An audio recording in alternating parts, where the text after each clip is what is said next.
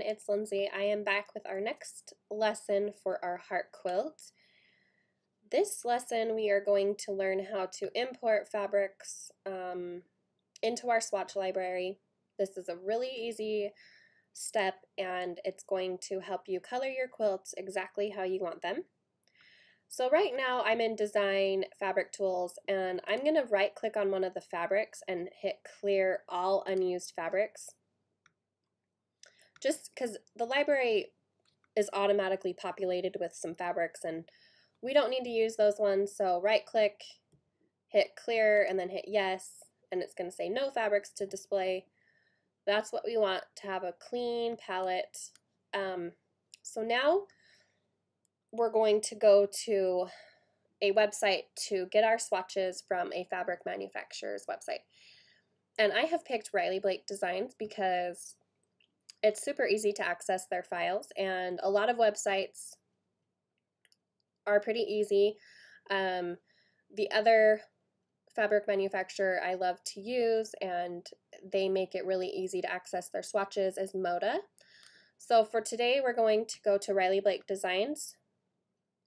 So in your web browser, just click rileyblakedesigns.com and you can see this is their main page. We want to hit storyboards. This is where all their fabric collections are and they're in alphabetical order. So the fabric collection I've decided to use is called Hello Sweetheart. And here it is right here. I can click on the actual image itself and it will download the storyboard.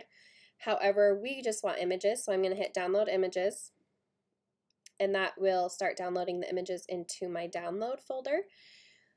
So now I'm going back to EQ8 and I need to access those images and to do that we need to import them into our library. So click on libraries at the top, hit fabric library and it'll bring up this box. So we got rid of all of these fabrics in our palette. So they're not going to show back up there. We're going to go to this box that says import. We're going to hit from image files. And I want to go back. Here is the Hello Sweetheart folder and inside the folder are two other folders. One has with ruler we do not want to download download these images because it'll put rulers in our swatches and we don't want that. So you're going to hit this folder and this has all the swatches in that fabric collection. So I'm going to make a fabric or a selection box over all the fabrics and I'm just going to download all of them or import all of them into my project um, because I don't know which ones I want to use and which ones I don't want to use. So you're going to hit open. Down here it will have a loading, it'll say it's loading. So it, it has loaded all those fabrics. You're going to hit select all fabrics. This I think is a new feature in EQ8. I don't remember this feature in EQ7. So before I just had to click on each one and hit add to sketchbook. This one you can hit this, it'll select all of them and then hit add to sketchbook. Now we can close this box and you can see it has imported those fabrics into our fabric swatch library. And now this is where the fun part starts. You can really change the look of your quilt because fabric makes all the difference and you can change it however you want in so many ways. You can do really scrappy, you can just use a couple of fabrics. Really, it's up to you and your preference. So for this lesson, I'm just going to show you a couple of things that I like to do when I'm coloring in my quilts. So I have my spray can selected. You want to um, these are the two tools I use the most, spray can and swap color. Swap color, it would swap every pink heart with the fabric I have selected, which is this pink heart. So I'm just going to click that to show. So you can see it swapped all of them with this pink heart. I really I kind of think I want to go scrappy on this, so I'm going to undo that, Command Z. And also, I want to show how you can rotate your fabric. So these are directional prints. I'm going to spray can this, and it is going the right direction, but if it was not going the right direction, you can hit your rotate fabric, and it'll start rotating. So now the hearts are upside down, you can rotate it as many times as you want until you get it to the right way is facing. So a really great tool to use. So I'm going to go back into my spray can and um, I'm going to go for a scrappy look and just start coloring. The great thing about the spray can is it'll spray everything within that specific block that is painted in that color. If you have several different pieces that are painted pink in a block, but you only want to color a certain one, you will want to use the paintbrush tool. And then that's where you can color each section. So like if I wanted to do my hearts one side pink and the other side red, I would want to use my paintbrush tool. That is actually super cute and you can definitely do your whole quilt like that. Um, I think I'm going to do all of my hearts one fabric. So I'm going to grab my spray can and I'm just going to start coloring and um, just do random hearts in different fabrics. So this one you can see it didn't do the whole thing because it wasn't all the same fabric so I'm just going to hit both sides on that. And like I said, you can really go crazy and do this however you want.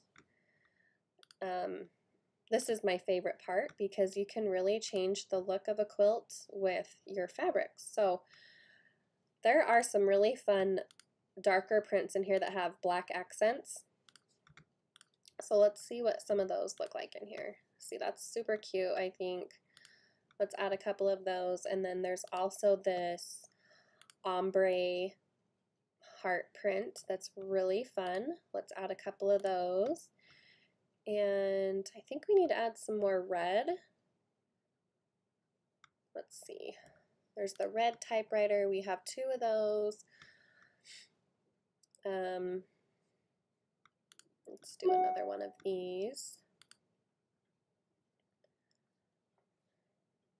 see, right here we have this print. It's the same print in different colors and we have quite a bit. So I'm actually going to change one of those to this one and then maybe change this pink one to,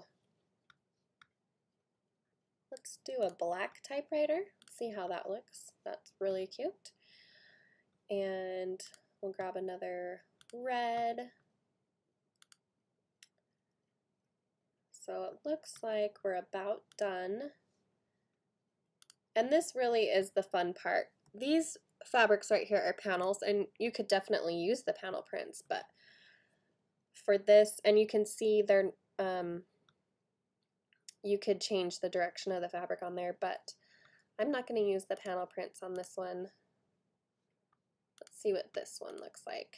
Oh, see, that's another ombre heart. Super cute. Let's do a black. They have a gold accent.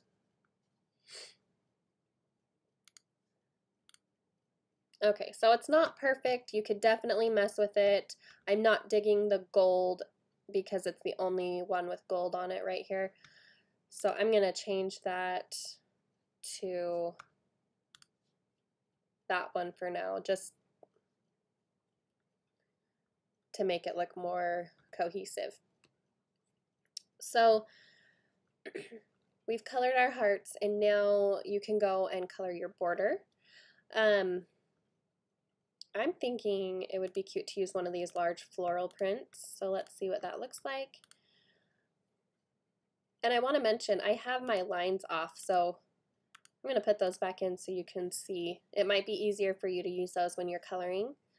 Um, when I'm coloring, I when I'm done and I feel like I have a good uh, assortment of fabrics, then I take my lines off and see. And I can see I have a lot of these florals on the outside edges. So either we need to change these or change the border. Let's see what this typewriter print looks like. It's the cream one. Really cute. I don't know if I love that as the border print. I'm going to grab my swap color. It'll make it faster. That's pretty cute, but I don't love that either. So I'm going to Command Z that, undo it. See what the black floral. See, that's pretty cute. I like that. We do have a lot of florals on the outside edges, so I would go in and kind of fix um, fabric placement. And this is where you can spend a lot of time. And if, let's say, you have more fabrics you want to add from a different collection, you could add those in and really change up um, how it looks. So that's how easy it is to use the fabric library and to import your own fabrics. I will include a link to Riley Blake's website so you can easily access that page so you can download your own swatches. Um, next time I will share how to print and export your quilt and your rotary cutting and all that fun stuff. So I hope you enjoyed this tutorial and I will see you next time.